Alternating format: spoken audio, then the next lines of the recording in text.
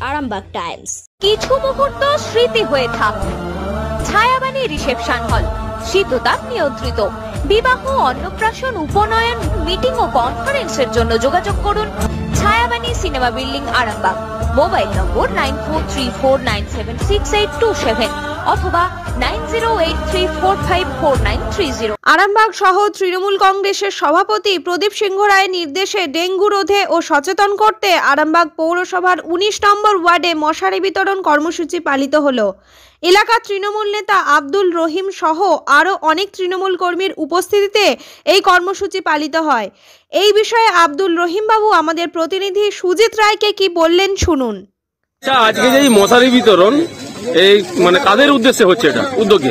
আমরা মমতা বন্দ্যোপাধ্যায়ের আদর্শে গড়া তৃণমূলের কর্মী সবাই তো আমাদের নেত্রী বলেছেন যে পদ নয় পতাকা নেত্রীর নাম মমতা।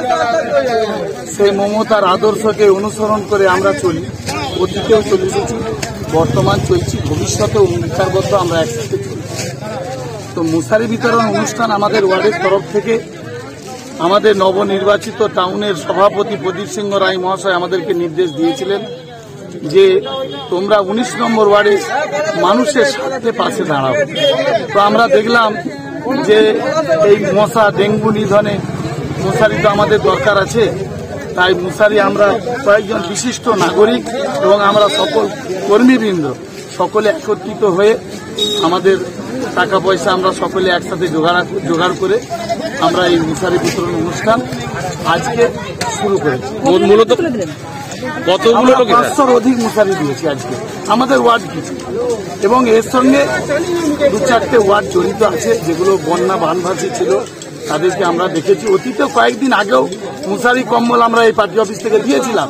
তাদের আবার তাদের জন্য এই আয়োজন আমরা রেখেছি। আগামী দিনে আর এরকম কোনো কর্মসূচি আছে নাকি আমরা কর্মসূচি অতীতেও করেছি বর্তমানেও করছি ভবিষ্যতে আরও অনেক কর্মসূচি আছে। মমতা বন্দ্যোপাধ্যায়ের কর্মসূচি শেষ নেই। তার আদর্শে আদর্শিত হয়ে আমরা কর্মসূচি পরপর করেই যাব। সামনে পৌরসভা নির্বাচন আছে মানুষের দুয়ারে যাব। এত মানুষ উপকৃত হচ্ছে নিশ্চয়ই আমার দিদিকে দেখবেন। এই আশীর্বাদ, দোয়া আমরা চাইব তাদের কাছে। বাড়িতে বাড়িতে আবার যাব।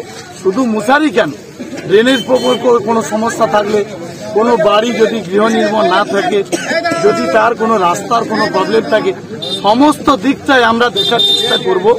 কারণ করোনাতে বিগত দুবছর আরামবাগ পৌরসভা কোনো কাজ করতে হয়তো পারেনি। কেন? আপনার আবার বাড়ির মহিলারাও কিন্তু পুরুষ থেকে মহিলা থেকে বিশিষ্ট নাগরিক থেকে আমরা কেউ বাড়ির বাইরে পা দিই তাহলে আমরা উন্নয়নটা করব কি করে? যেহেতু আমাদের মধ্যে সেটা আর নেই, হয়তো ক্ষত আছে, আমাদের মধ্যে দাগ আছে, কিন্তু সেই দাগকে অতিক্রান্ত করে আমরা মানুষের জন্য ঝাঁপিয়ে পড়েছি।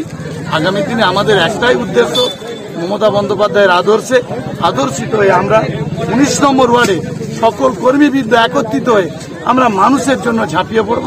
মানুষের আশীর্বাদ দোয়া আমরা চাই। আমি শেখ আব্দুল রহিম উনিশ নম্বর ওয়ার্ডের সভাপতি। Thank you